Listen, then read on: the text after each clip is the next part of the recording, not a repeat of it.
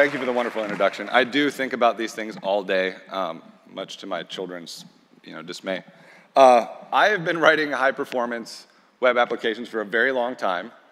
Uh, this is a screenshot of a talk I gave almost a decade ago uh, that includes a screenshot of an app I worked on at Netflix. So this uh, app, what it does, if you were able to watch the video of it, which there was a snafu even in this talk, um, it, uh, it ticks along and shows you in real time what's happening in Netflix's infrastructure. And this includes hundreds of millions of devices, thousands and thousands of server instances, and at the time, more than half the bandwidth in North America.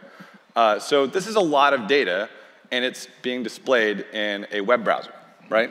So I have had the privilege over the years of working with some very, very, very smart people and they have taught me things. These are not things I've divined from anything. I have learned from some of the best people you could possibly work with.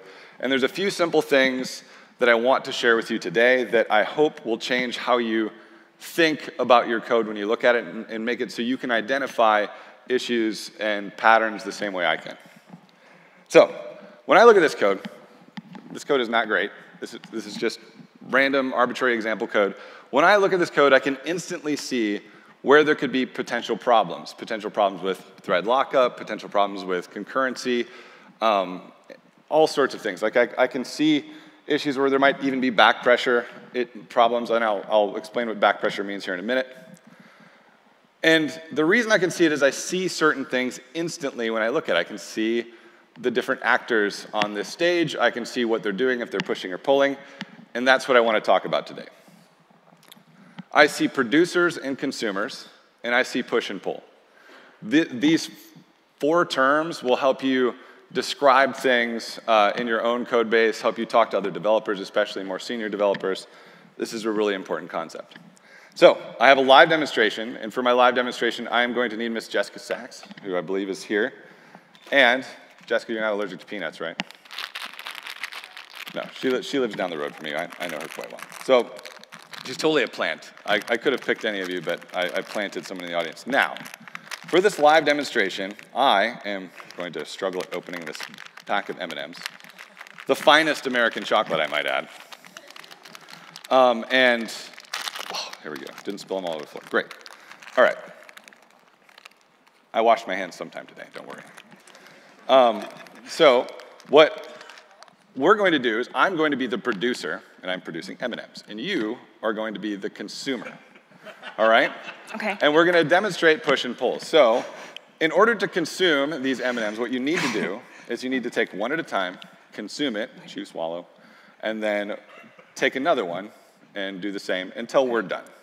All right? So, you may decide when you want to because you're the consumer. You're in charge of this whole situation. I'm just producing M&Ms. Would you like another one? Uh, I would have to produce one. Too bad. If you tried to pull one right now, go ahead. Oh, look, there's nothing in your hand. That's horrible. Right? So that's pull. Pull was really great for Jessica being able to get the M&Ms when she wanted. I don't think she swallowed in between grabbing each one, but that's okay. Um, but you see, there was a problem with pull in that if I, the producer, don't have time to come over here and get one of these things and be ready, then when she goes to pull, it's not there. And this is when we start to need asynchronous code, right? Um, so let's do push-based for a second here. And so for push-based, I, the producer, am going to give you an M&M when I'm ready to give you an M&M. And you must consume it one at a time. Are you ready? Mm -hmm. Here we go.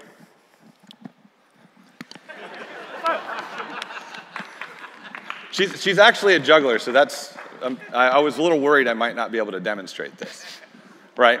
So there's, other than a cleanliness problem right now, that, that, that, demonstrates the problem with, with, with push. So I, being push-based, I have time now as a producer. I could go back, I can get another M&M, I could build a whole M&M factory and make an M&M and give it to her. I have time to do what I need to do. However, if I deliver them faster than she, the consumer, can consume them, she, we run into back pressure issues. This is, a, this is a back pressure problem. So she gets, she feels the pressure of, I have to eat these as quick as possible, and I'm getting backed up. I have too many M&Ms for me to eat, right? Thank you, Jessica. Thank you.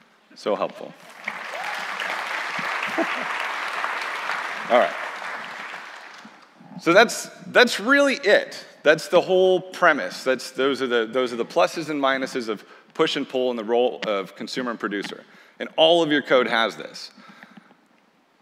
They're the actors of push and pull. And don't get excited, CS nerds, I don't mean the actor model. These are just the, the your code is always either a consumer or it's a producer. The producer is usually a little hidden from what you're actually looking at in your code. So how do we identify consumer and producer? We can look at really normal looking code, like eh, you know, everyone at work writes a get value method and logs it, right? So this is pretty normal code. And the consumer here is actually the value, it so where we're getting the value out and we're logging it, right? The variable side, the, the assignment side. So we return a value from the producer, which is our function. So this is, this is, a, this is pulling a value out of this function. This is producing a value to be used by the consumer. Similarly, we've all seen for loops before. With this code, what do you think? The body of the for loop is the consumer, and the producer is going to be your iteration, like the actual for loop and the iterable that are, that are giving you the values. Here, this one's a little different. This is mouse moves. Um, this one, the consumer is obviously the, the handler for the event the function. And the producer is going to be, you could say it's the body element, you could say it's, you know, the event target, you could even say it's the user uh, moving the mouse. It's kind of a collection of these things. So, consumers and producers in push versus pull. Pull, the consumer pulls or gets the value uh, right when they need it. It's very, very convenient. It's very easy to reason about. We see it all over the place. I mean, you all call functions, I hope. It's always synchronous. That's one of the reasons it's so easy to reason about. Push, on the other hand, is a little bit more complicated. Uh, this is when the producer gives you the value whenever, to, whenever the producer is ready to give you the value, and the producer could be anything.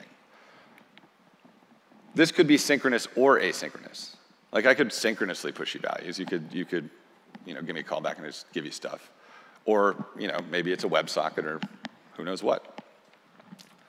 So pull types are these two things that you see all the time. You've got functions, which you pull a value out. A single value is always one return value from a function. Even if you have a tuple, sorry, that's one value. You just took two.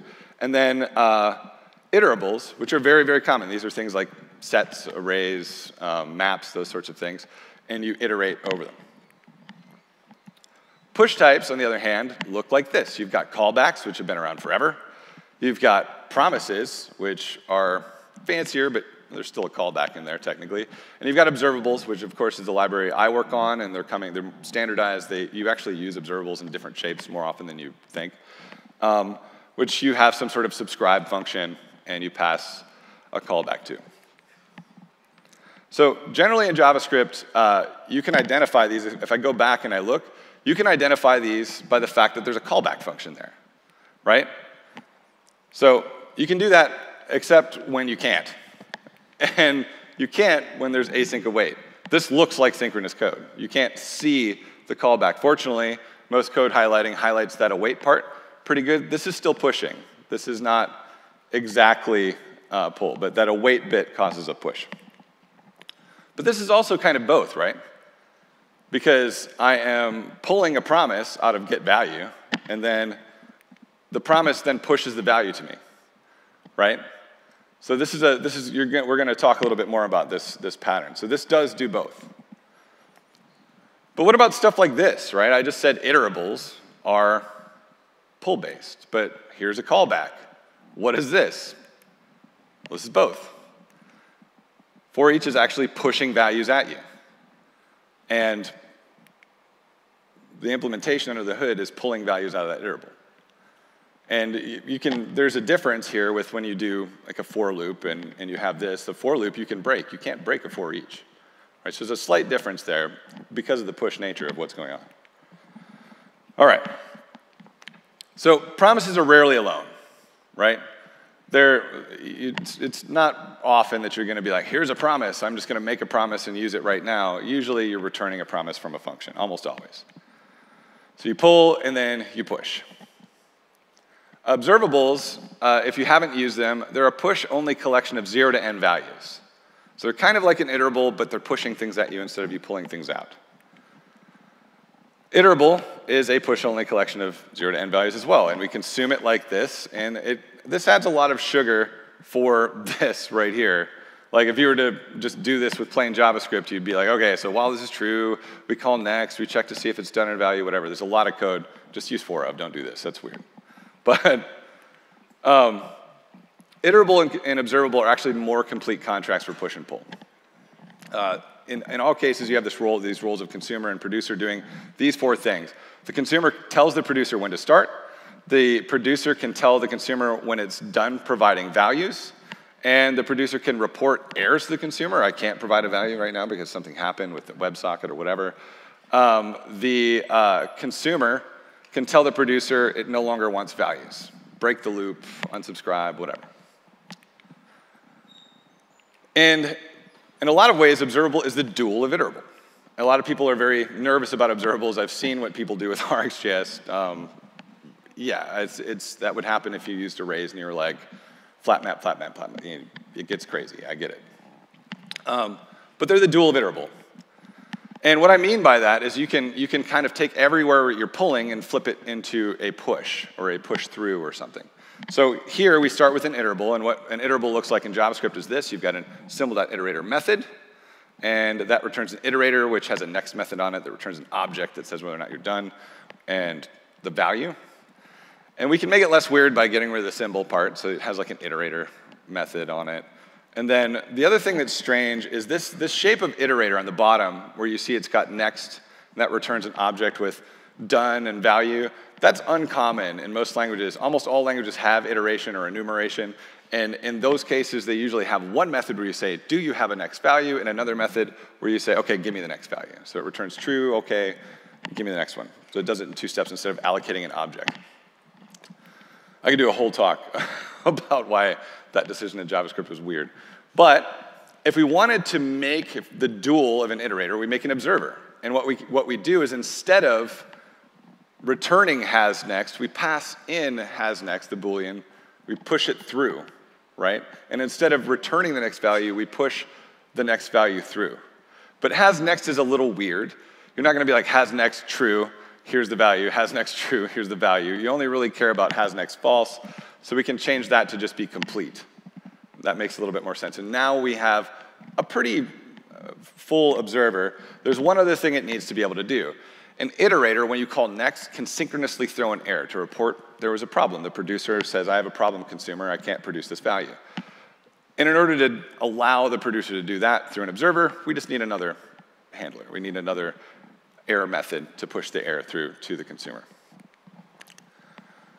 And then the only difference there is instead of an iterable that has an iterator method that returns an iterator, we have an observable that has an observer method that takes an observer but usually this is called subscribe in most observable implementations. And then the final thing that it's missing is with iteration, you can stop iteration by simply not calling next. And it's synchronous, and so you've got total control over when you iterate. Uh, so we need a way to stop observation. We need a way to tell the producer to stop sending values to the consumer for the consumer. And so what's usually done is the observable returns some sort of uh, subscription semantic, or sometimes it could take an abort signal. That's what the, the W3C proposal is going to do. Um, but there's a variety of ways to say, hey, I, the producer, want to stop consuming this subscription. So you can see the duality if you really squint, you look. It's not that different. It, it's very much similar in a lot of ways. Um, there's duality also with just plain functions. And so you have a function that returns a value, you can have a function that takes a callback. It's, you, you push things out. It's the same sort of idea. Um, you need to report an error, so oftentimes in Node you'll see the first argument's an error. Sometimes it's like, well, what if a valid value is null or something? I, I think that's weird. They'll have a second argument. That was the choice with uh, promises, right? The promise, on the other hand, doesn't really have a dual because it's so advanced. It does a lot of wrapping and unwrapping. It returns another promise after then. You can't really build a dual out of that. It's, it's a little bit, it's not as primitive as an observable. All right, so I'm going to start to build some quadrants for, for here of types that you deal with every day that you need to think about. One is pull. You use that all the time, functions and iterables. The other is push. You've got callbacks and observables, and I got promises kind of in parentheses there because they're never alone. And I'm going to make this other quadrant here now pull push. So that is a function paired with a promise. So you call a function, it returns a promise, you're pulling, and then you're pushing, you're waiting for the push. There's another pull push type that you should know about, and that is async iterable. So async iterable is iterate, an iterable of promises, right? Basically. Uh, it looks a lot like this. You have an async iterator function, it returns an async iterator. The async iterator just looks, looks exactly like our other iterator, only it gives you a promise to that iterator result. You can create one in JavaScript right now by using async function star. How many people have used async function star? Like, like there's like, I don't know, maybe 10 of you. That's cool. It works, it's interesting. Um, you can consume one with for await loops. So this will wait till it gets to the top, pull that promise out, let it wait for it to resolve or reject, and then enter the body of that for loop, do whatever needs to be done in there. This is nice because if you're doing very slow work, like Jessica chewing her M&Ms, it gives her time to get back to the top of the for loop and say, okay, I'm ready for another M&M, and I can produce one and she can handle it. So they're very good for back pressure. Async iterables are very good for back pressure. In fact, all pull then push types are very good for back pressure, for managing that issue, which doesn't come up all the time, but when it does, it's gnarly. So Pull then push, you only request the data when you know you can handle it. So that rounds that out, but there's another quadrant here. Push then pull. And this is kind of a type du jour right now. We've got signals. And what are signals? Like you might have seen people talking about these. Signals have existed for a very long time, but now they're like everything's old as new again, right? So they were also known as Ember computed props, knockout observables, not observables, actually signals, MobX observables, not observables, actually signals. Uh, SolidJS signals, Vue refs, Angular signals, Svelte runes. I don't know about that name, but it's cool. And then TC39 signals, which I've been helping spec out lately. And what they kind of look like, and this is a vague shape, they could kind of look like this. You've got a subscribe where you can push whether or not something's changed, and then you've got a get to get the value out. So the producer notifies the consumer, hey, this has changed. And then the consumer, at its leisure, when it's ready, can get the value out. And what is this good for? Well, it's good for a lot of things. For one thing, you can delay computation of something expensive until you're ready to actually use it. So if you're updating something uh, really quickly asynchronously, you can delay when you actually do that computation. It also is really advanced. Like this does things like, oh, this computed tracks that it depends on these and on signals A and B, and this effect tracks that it depends on signal C, which depends on A and B, and so on. So you get this whole dependency graph to notify what's changed and what hasn't. Um, this is just one possible shape for signal. So the actual signal that you actually interface with is going to look like this. It'll probably just have a get, and there'll be a state signal that you can kind of set and get. Uh, signals themselves, again, are much more complex than anything else that, uh, that I've talked about today. You could give a whole talk about the intricacies of the diffing logic and the dependency graph and that sort of thing. The proposal is here. I'll make sure that you all get the link to this. Uh, the proposal, this is actual code that you would be able to write in real world JavaScript. The effect part would probably be implemented by somebody's framework. And that kind of rounds out everything. So this is really important, this, this uh, four-way chart here. Uh, pull is great for getting any synchronous value. Push is uh, it's great for event composition through observables, getting asynchronous values, uh, allowing the producer to just kind of give you things as quickly as it can. Usually push is great for anything asynchronous. Like oftentimes you're not gonna run into back pressure issues, but when you do, pull then push is great. It's more complicated because there's clearly two steps, but it's wonderful for that controlled delivery between services or something like that. And then finally, we have push then pull. And what this is actually good for is those controlled reads of asynchronously updated values. So like a framework, you update a bunch of code, you don't want to calculate a bunch of stuff before you render because render is expensive. that expensive action, you say, all right, right before this expensive action, now I'm going to read through all these things and do these computations, whatever, and, and actually render that. So there's a lot of other types you could add in here. Um, if you think about it, a lot of them are silly. Some of them are not. Readers, uh, you know, tasks, actions, that sort of thing. An iterable of observables, an observable of iterables, right? But I really, really just want to leave you all with this slide. This is it, like, think about, you know, who's the producer, who's the consumer when you're looking at your code, and then look at the types that are being used and know what they're actually good for and where, where the problems could possibly be with those. So that's it. Uh, merci. Thank you.